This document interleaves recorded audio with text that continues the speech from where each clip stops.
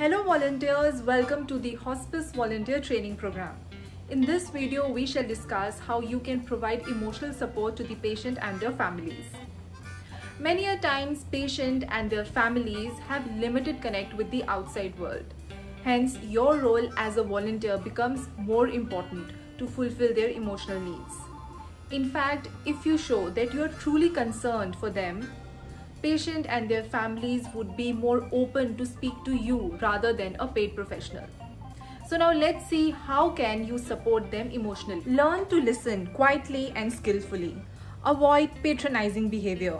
Be tolerant. Many patients may need time to speak or react. Be supportive with assurance and genuine praise.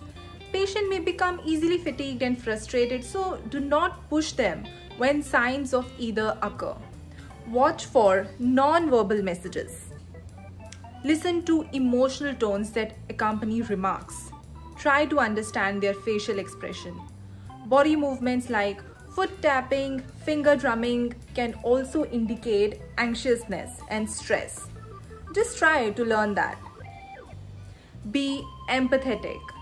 Be sensitive to the patient and family's attitude towards religion listen to patients' spiritual beliefs and needs. So volunteers, in this video, we discussed how you can support the patient and their families emotionally. Keep watching the videos and keep on learning.